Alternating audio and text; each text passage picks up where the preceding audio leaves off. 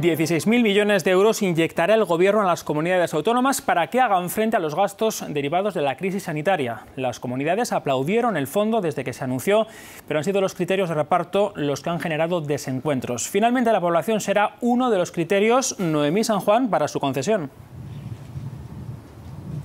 Así es, finalmente ese criterio poblacional será uno de los criterios para el reparto de ese fondo no reembolsable que alcanzará los 16.000 millones de euros. La mayor parte de ese dinero, 9.000 millones de euros, será para gasto sanitario y llegará a partir del próximo mes de julio. Habrá también 5.000 millones de euros para compensar las mermas de ingresos de las comunidades autónomas y 2.000 millones de euros más para, para educación que empezarán a llegar en el mes de y que se repartirán exclusivamente atendiendo a criterios poblacionales y dando prioridad a los menores de 16 años. El objetivo del Gobierno es impulsar la sanidad y la educación, dice, ambos imprescindibles para garantizar el crecimiento y la recuperación económica es el llamado Fondo COVID, 16.000 millones de euros no reembolsables que servirán para que las comunidades hagan frente a la pandemia.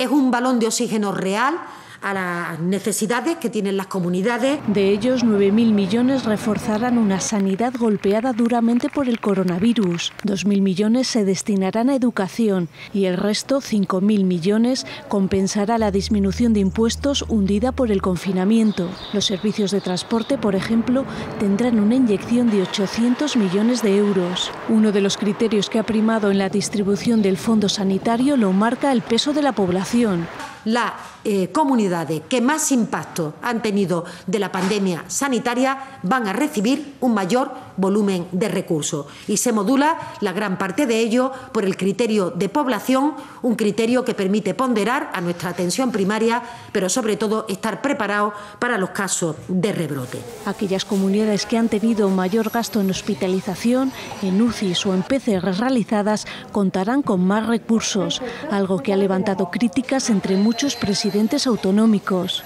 El Ejecutivo entregará 6.000 millones de euros en julio, en un primer plazo destinado al Fondo Sanitario.